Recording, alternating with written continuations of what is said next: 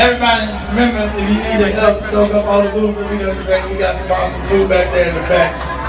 So get yourself some chicken, some ribs, something. And again, I just want to make a love to you. We have an awesome team that's been doing this whole thing for us in the VI. It's not just me up here. We got Save the Day Jay. Darren, love buddy. Andy, Christy, love you guys. Thanks for having us. Thursday music. I so love being in the Virgin Islands. I hope I can do this every year of my life.